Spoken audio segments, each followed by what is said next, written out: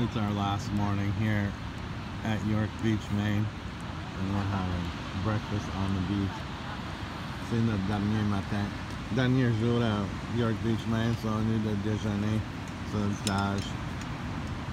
So they allow they allow dogs for certain hours.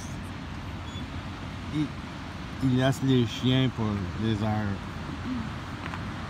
And then I don't know if you can see it in the, in the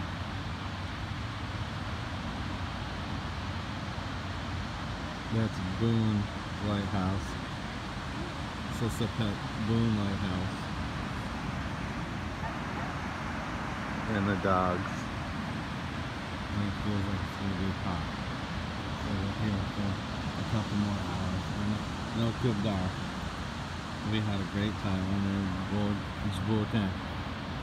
And there's um, Nubble.